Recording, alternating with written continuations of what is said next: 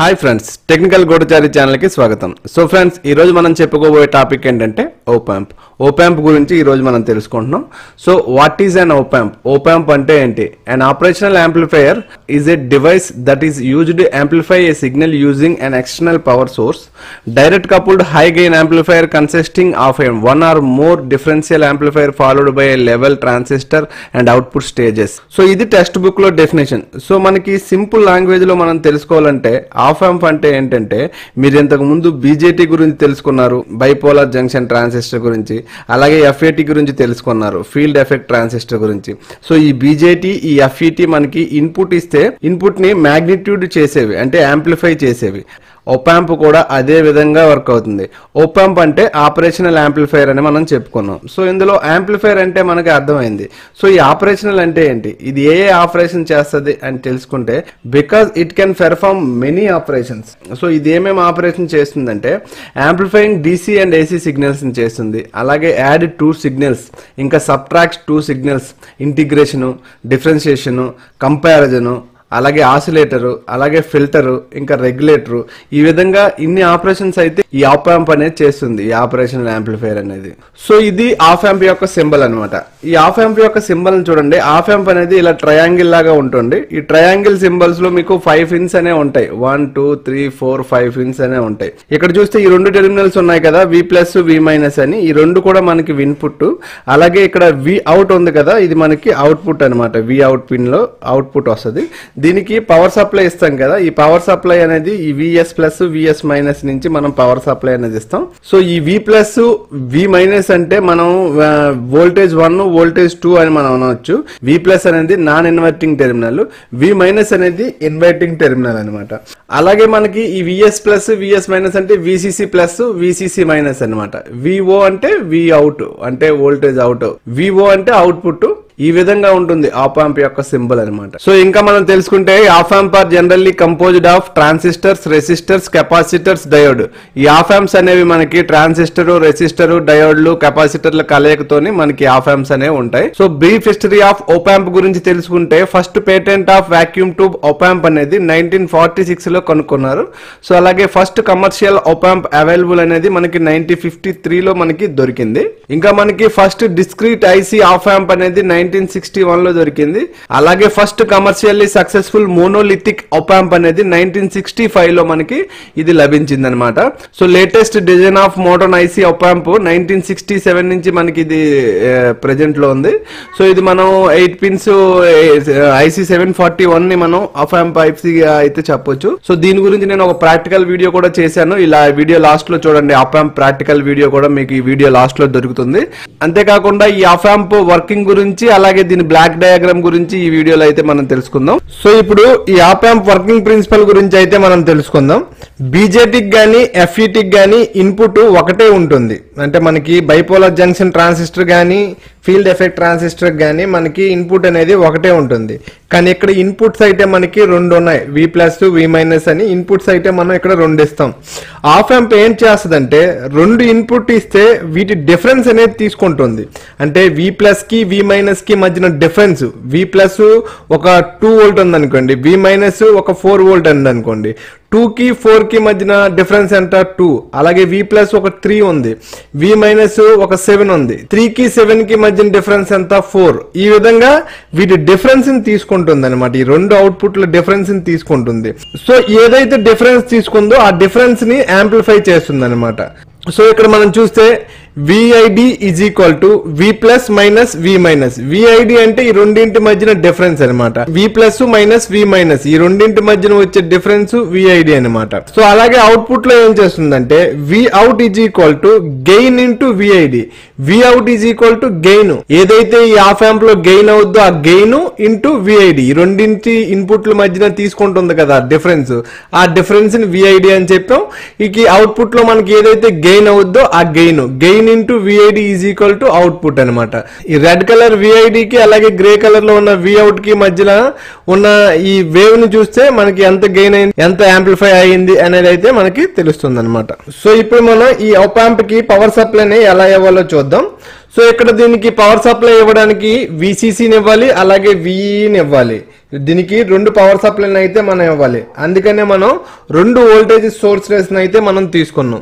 So రెండు voltage సోర్సెస్ని తీసుకొని ఈ విసిసి ఇవ్వడానికి విఈ ఇవ్వడానికి అనమాట సో దీని ప్లస్ మైనస్ దీని ప్లస్ మైనస్ సో ఈ విసిసి మైనస్ని విఈ ప్లస్కి రెండింటికి ఇలా షార్ట్ చేసి దీన్ని అయితే గ్రౌండ్ చేస్తాం.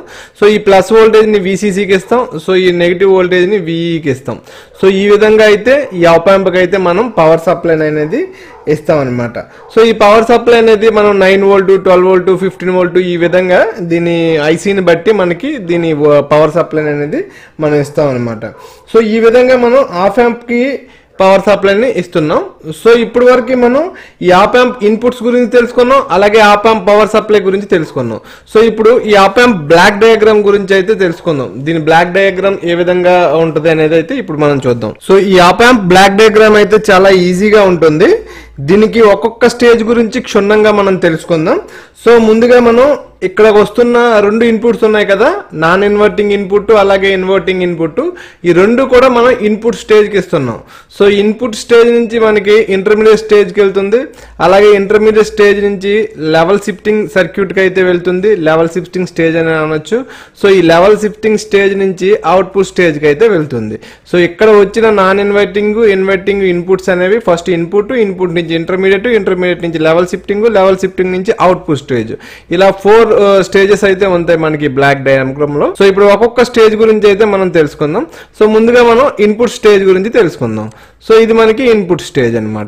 సో ఈ ఇన్పుట్ స్టేజ్లో ఏమవుద్దంటే dual input balanced output differential amplifier అనమాట మనం ఇక్కడ రెండు ఇన్పుట్స్ ఇస్తున్నాం ఈ రెండు ఇన్పుట్స్ నుంచి మనకి ఒకే అవుట్పుట్ అనేది వస్తుంది ఈ ఇన్పుట్ స్టేజ్లో. ఒకే అవుట్పుట్ అంటే ఏంటంటే ఇక్కడ మనం రెండు ఇన్పుట్స్ని మనం ఈ రెండు ట్రాన్సిస్టర్లు కానీ ఈ రెండు ట్రాన్సిస్టర్ల బేస్కి ఇస్తే ఈ రెండు ట్రాన్సిస్టర్ల కలెక్టర్ నుంచి ఒక అవుట్పుట్ అనేది వెళ్తుంది. ఇదేంటంటే ఈ రెండు ఇన్పుట్ల యొక్క డిఫరెన్స్ని మనకి ఇది ఒక అవుట్పుట్గా అయితే ఇస్తుంది అనమాట సో అందుకని ఇన్పుట్ స్టేజ్లో మనకి డిఫరెన్స్ డిఫరెన్షియల్ యాంప్లిఫైర్ అనేది ఉంటుంది. సో ఇన్పుట్ స్టేజ్లో డిఫరెన్షియల్ యాంప్లిఫైర్ ఉంటుంది కాబట్టి మనం ఇచ్చే రెండు ఇన్పుట్ల నుంచి ఒకే అవుట్పుట్ వస్తుంది. ఆ అవుట్పుట్ ఏంటంటే ఈ రెండు ఇన్పుట్ల డిఫరెన్స్ అన్నమాట ఈ అవుట్పుట్ అనేది. So provide most of the voltages gain and establish input resistance అన్నమాట. సో ఈ ఇన్పుట్ స్టేజ్ తర్వాత మనకి నెక్స్ట్ స్టేజ్ ఇంటర్మీడియట్ స్టేజ్ అన్నమాట. సో ఇక్కడ చూస్తే ఇంటర్మీడియట్ స్టేజ్లో కూడా మనకి రెండు ఇన్పుట్ లాగే ఉంది. సో ఇంటర్మీడియట్ స్టేజ్ అలాగే ఇన్పుట్ స్టేజ్ మనకి ఒకలాగే ఉంటుంది. ఎందుకంటే dual input unbalanced output differential amplifier అనమాట సో ఇది అన్బ్యాలెన్స్డ్ అవుట్పుట్ అనమాట సో ఈ రెండింటిలో మనకి ఈ రెండు కలెక్టర్ల నుంచి అయితే మనకి తీసుకుంటుంది కదా అవుట్పుట్ ఆ రెండు కలెక్టర్ల నుంచి తీసుకోవడం ఇంటర్మీడియట్ స్టేజ్లో అవుద్ది. ఇన్పుట్లు మనం బేసిక్ కలెక్ట్ చేస్తున్నాం కదా అది మనకి ఇన్పుట్ స్టేజ్లో అవుద్ది అనమాట సో ఎందుకని? Unbalanced output differential amplifier so ఇక్కడ నుంచి మనకు వచ్చేది ఒక్క అవుట్పుటే వస్తుంది. ఈ అవుట్పుట్ అనేది మనకి లెవెల్ షిఫ్టింగ్ స్టేజ్కి అయితే వెళ్తుంది అనమాట థర్డ్ స్టేజ్ మనకి లెవెల్ షిఫ్టింగ్ స్టేజ్ సో దీనికి వెళ్తుంది ఒకే అవుట్పుట్ వెళ్తుంది. సో ఈ ముందు రెండు స్టేజ్ల నుంచి వచ్చిన అవుట్పుట్స్లో యాంప్లిఫై అవడంతో పాటు నాన్ జీరో డీసీ లెవెల్ కూడా ఉంటుంది. సో ఈ లెవెల్ షిఫ్టింగ్ స్టేజ్ యొక్క వర్క్ ఏంటంటే ఈ నాన్ జీరో డీసీ లెవెల్ని గ్రౌండ్ స్టేజ్లో జీరోకి తేవడం అనేది జరుగుతుంది. అందువల్ల దీనిలో మనకి emitter followers using consistent current source అనేది జరుగుతుంది. So output level in intermediate stage is above ground as direct coupling is used level shifting stage is used to shift the out output of the intermediate stage downwards అనమాట so దీంట్లో level shift అనేది జరుగుతుంది. అది ఎందువల్ల అంటే ఈ non zero DC లెవెల్ని ఈ గ్రౌండ్ చేయడానికి లెవెల్ షిఫ్టింగ్ అనేది జరుగుతుంది. సో ఈ లెవెల్ షిఫ్టింగ్ అనేది జరిగి డైరెక్ట్గా అవుట్పుట్ స్టేజ్లోకి అయితే వెళ్తుంది. సో ఇప్పుడు ఈ అవుట్పుట్ స్టేజ్లో మనం ఏం జరుగుతుంది అనేది చూద్దాం. సో ఈ అవుట్పుట్ స్టేజ్లో మనకి కాంప్లిమెంటరీ సిమెట్రీ పుష్ఫుల్ యాంప్లిఫైర్ అనేది ఉంటుంది. సో ఈ యాంప్లిఫైర్ ఏం చేస్తుందంటే అవుట్పుట్ వోల్టేజ్ యొక్క స్వింగ్ని పెంచుతుంది అలాగే కరెంట్ సప్లయింగ్ కెపబిలిటీని పెంచుతుంది అలాగే లో అవుట్పుట్ రెసిస్టెన్స్ని మనకి ప్రొవైడ్ చేస్తుంది అనమాట సో ఈ విధంగా మనకి అవుట్పుట్ స్టేజ్లో వర్క్ అనేది జరిగి మనకి అవుట్పుట్ అనేది బయటకు వస్తుంది అనమాట సో ఈ విధంగా మనం ఈ ఓపాంప్ బ్లాక్ డయాగ్రామ్ అయితే మనం చెప్పుకోవచ్చు. సో ఇప్పుడు మీరు ఈ ఆపాంప్ యొక్క ప్రాక్టికల్ వీడియోని అయితే చూస్తారు. ఒక ఐసీని యూజ్ చేసి ఆపాంప్ ప్రాక్టికల్ వీడియో ఏ విధంగా చేయొచ్చు అని చెప్పి. సో ఇప్పుడు దీని కనెక్షన్స్ చూద్దాం. సో మనం ఇక్కడ ఒక ఇన్పుట్ అయినా రెండు ఇన్పుట్లు అయినా ఇవ్వచ్చు. సో అందుకని ఒక ఇన్పుట్ ఇద్దాం. సో ఈ నెగిటివ్ టెర్మినల్ని గ్రౌండ్ చేద్దాం. అలాగే ఇక్కడ పాజిటివ్ టెర్మినల్ ఉంది కదా ఈ పాజిటివ్ టెర్మినల్కి మనం సైన్ వేవ్ ఇద్దాం. సో ఇక్కడ మనం ఒక ఇన్పుట్ అయినా ఇవ్వచ్చు లేదా రెండు ఇన్పుట్స్ అయినా ఇవ్వచ్చు అనమాట. ఇంతకు ముందు మనం థిరీలో రెండు ఇన్పుట్స్ చెప్పాం. ఇక్కడ మనం ప్రాక్టికల్లో ఒకటైనా ఇవ్వచ్చు రెండైనా ఇవ్వచ్చు. నేను ఏం చేస్తున్నానంటే ఇక్కడ సైన్ వేవ్ ఇస్తున్నాను సో ఈ sine wave positive cycle above zero ఉంటుంది. అలాగే నెగిటివ్ సైకిల్ అనేది బిలో జీరో ఉంటుంది. దీనికి పవర్ సప్లైలో మనం పాజిటివ్ నైన్ వోల్ట్ అలాగే మైనస్ నైన్ వోల్ట్ని అయితే ఇస్తాం. ఇన్పుట్లో మనం సైన్ వేవ్ని ఇస్తే అవుట్పుట్లో మనకి స్క్వేర్ వేవ్ వస్తుంది. ఇన్పుట్లో పాజిటివ్ సైన్ వేవ్ అనేది అవుట్పుట్లో మనకి నైన్ వోల్ట్ వరకు వెళ్తుంది స్క్వేర్ వేవ్. నైన్ వోల్ట్ వరకు వెళ్ళి ఆగుతుంది. ఎప్పుడైతే ఈ ఇన్పుట్ మళ్ళీ జీరో అవుద్దో జీరో అయ్యేటప్పుడు ఒక్కసారిగా ఎక్కడి నుంచి ఈ జీరో అయ్యేటప్పుడు ఈ అవుట్పుట్ యొక్క గ్రౌండ్ అవుద్ది కదా ఈ గ్రౌండ్ అయ్యేటప్పుడు ఈ అవుట్పుట్ యొక్క స్క్వేర్ వేవ్ అనేది కూడా మనకి ఏ విధంగా వస్తుందంటే జీరో నుంచి ఒక్కసారి మైనస్ నైన్ వోల్ట్కి వస్తుందన్నమాట. మైనస్ నైన్ వోల్ట్ నుంచి మళ్ళీ మైనస్ నైన్ వోల్ట్ నుంచి మళ్ళీ ప్లస్ నైన్ వోల్ట్కి ఇలాగా. Minus plus nine volt to minus nine volt ఇలాగా మనకు ఒక స్క్వేర్ వేవ్ అనేది అవుట్పుట్లో వస్తుంది. సో ఈ సర్క్యూట్ని జీరో క్రాసింగ్ డిటెక్టింగ్ సర్క్యూట్ అని అంటారు. ఎందుకు జీరో క్రాసింగ్ డిటెక్టింగ్ సర్క్యూట్ అంటారంటే ఈ వి మైనస్కి మనం గ్రౌండ్ కనెక్ట్ చేసాం కదా. సో గ్రౌండ్ కనెక్ట్ చేసాం కాబట్టి ఎప్పుడు ఈ ఇన్పుట్ జీరో క్రాస్ అవుతుందో అప్పుడు అవుట్పుట్ అనేది చేంజ్ అవుతుంది. అందుకని దీన్ని జీరో క్రాసింగ్ డిటెక్టర్ అని చెప్తారనమాట ఇది ఒక బేసిక్ వెర్షన్ ఆఫ్ కంపరేటర్ మాదిరిగా మనకి వర్క్ అవుతుంది సో ఇప్పుడు దీని కనెక్షన్స్ అయితే మనం చూద్దాం. సో దీనికోసం నేను ఇక్కడ బోర్డ్లో ఎల్ఎం త్రీ టీ ఫోర్ అనే ఐసీని తీసుకున్నాను. ఈ ఐసీలో మనకి ఫోర్ ఆపాంప్స్ ఉంటాయి. కానీ ఈ ఫోర్ ఆపాంప్స్లో మనం ఒక ఆపాంప్ నే యూజ్ చేస్తాం. సో ఈ యాపాంప్కి అయితే మనం ఇప్పుడు పవర్ సప్లైని కనెక్ట్ చేస్తాం. అందుకని ఈ ఐసీ యొక్క పిన్ నెంబర్ ఫోర్లో ప్లస్ విసిసి వోల్టేజ్ అయితే ఇస్తాం. అందుకని హెడర్ నెంబర్ ఫైవ్లో ఉన్న వి ప్లస్ పిన్ నుంచి నైన్ వోల్ట్ మనం కనెక్ట్ చేస్తున్నాం. అలాగే మైనస్ నైన్ వోల్ట్ని కూడా కనెక్ట్ చేయాలి కదా. సో ఈ హెడర్ నెంబర్ ఫైవ్ నుంచి మైనస్ నైన్ వోల్ట్ను కూడా ఈ ఐసీకి మనం కనెక్ట్ చేస్తాం. సో ఇంకా ఇన్పుట్ మనం సైన్ వేవ్ ఇవ్వాలి.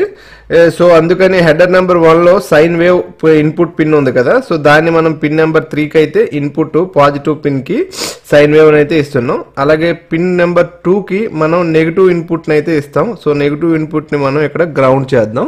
సో నెగిటివ్ ఇన్పుట్ని అయితే నేను గ్రౌండ్ కనెక్ట్ చేస్తున్నాను. హెడర్ నెంబర్ సిక్స్లో గ్రౌండ్ పిన్ ఉంది కదా సో దీనికి గ్రౌండ్ కనెక్ట్ చేశాను. సో ఈ ఐసీ పిన్ నెంబర్ వన్ అనేది అవుట్పుట్. ఈ అవుట్పుట్ అయితే మనం ఎనలాగ్ ఆసిలోస్కోప్ ఛానల్ నెంబర్ టూకి అయితే మనం కనెక్ట్ చేస్తున్నాం.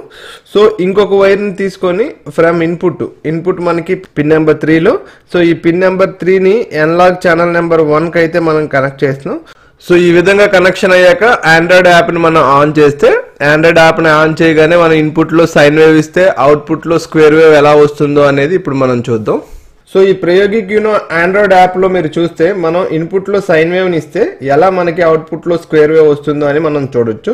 సో ఈ యాప్లో మనం ఇప్పుడు ఈ రెండు ఛానల్స్ని మధ్య చేద్దాం. సో మధ్య చేస్తే చూడండి ఎప్పుడు మనం పాజిటివ్ సైకిల్ వెళ్తుందో అవుట్పుట్లో ఆ సైకిల్ అనేది హై అవుతుంది. అలాగే నెగిటివ్ సైకిల్కి వచ్చేటప్పుడు లో అవుతుంది.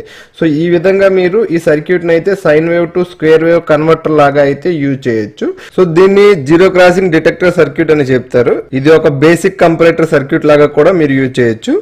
ఇంకా మీరు ఈ యాప్ అయితే ఈ ప్రాక్టికల్ వీడియోలో చూశారు. ఎలా లో సిగ్నల్ ఇస్తే హై సిగ్నల్ లాగా కన్వర్ట్ అయింది ఇంకా సైన్ వేవ్ని ఇస్తే స్క్వేర్ వేవ్కి ఎలా కన్వర్ట్ అయింది యాప్ని యూజ్ చేసి అని అయితే మీరు ఈ వీడియో ద్వారా క్లియర్గా అర్థం చేసుకున్నారు అనుకుంటున్నాను ఈ వీడియోలో మీకు ఒక అసైన్మెంట్ క్వశ్చన్ అయితే నేను ఇస్తున్నాను.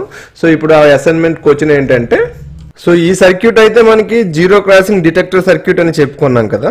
సో ఈ సర్క్యూట్ నేను one volt crossing detector circuit లాగా one volt crossing detector circuit లాగా నేను చేయాలంటే ఈ సర్క్యూట్లో ఏం చేయం చేయాలి? అనేది అయితే మీరు నాకు కామెంట్ బాక్స్లో కామెంట్ చేసి చెప్పండి.